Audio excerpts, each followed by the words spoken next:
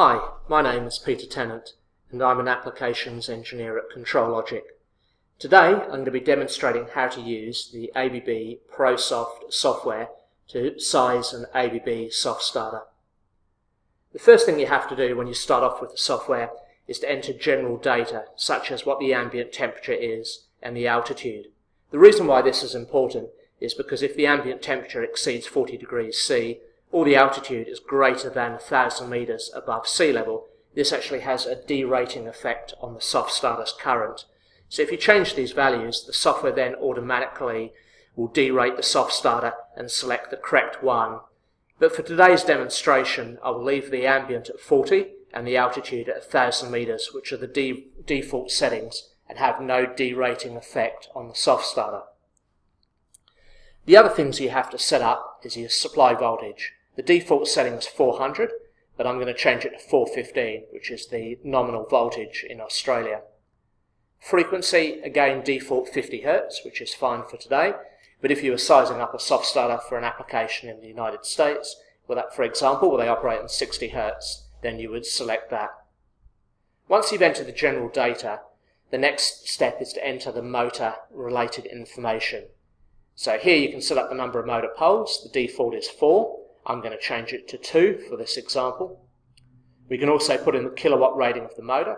Again, default is 11, but I'm going to put it to say 55 kilowatts. Then we have to tell the software what type of load is coupled to the motor shaft. So here I'm going to select a centrifugal pump. This is a variable torque type load, and you can see this from the, um, the torque speed curve in the right hand side. If you know more information such as the load or motor shaft inertia, you can enter these values. But for today, I'm going to leave the default settings. So once entering the, the input information, we then move to the next stage in the software.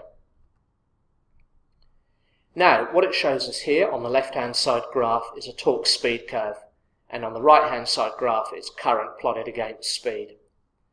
So looking at the torque speed curve, we can see the red dash line represents the, the load torque the green line represents the soft starter torque and the dash blue line represents the torque if the motor was being run direct online.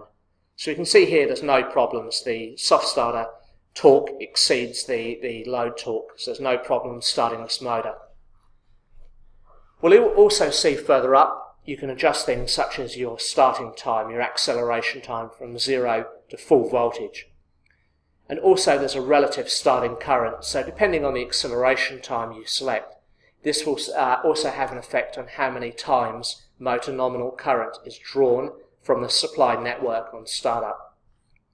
So for example here, I could extend the, the ramp time from 11.3 to 15 seconds. This application doesn't require a fast start time. In fact, you might actually want to have a slower one to reduce some water hammer anyway. So I'll increase it to 15, 15 seconds. And you can actually see that the relative start current changes accordingly. So once we've gone through here and adjusted our starting times and made sure the relative starting current being drawn from the network is acceptable for the application, we go through to the final stage in the software. In this stage, it actually publishes the different models of the ABB soft starter that could be used for this application.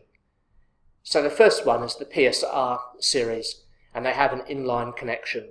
The inline connection is the most typical connection, and it's basically a three-wire connection to the motor. And here it's saying that PSR 105, which is a soft starter with a rated nominal current of 105 amps, is suitable for the application.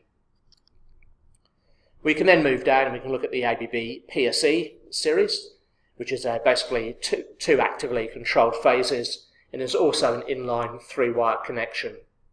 Or we can move up to the PSTX, one of the newer series of ABB soft starters. And here we have a choice of either an inside delta, which is a six-wire connection, and in that configuration, less current is required from the soft starter. So here, an actual PSTX 60, 60 amp, will be suitable for the application.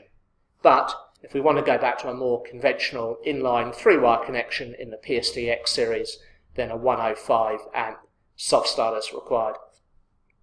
The final two choices are the PSTB, and these are being shown as not available. The reason being is they're for much higher uh, power ratings and therefore they're not suitable for the application.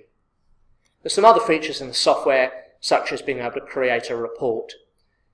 This is actually quite useful because it can generate a report about the selected soft starter, and all the information that was entered to come up with the selection. You can then send this to your client and they can double check that you've understood all their application requirements correctly and therefore the soft, soft starter has been sized correctly.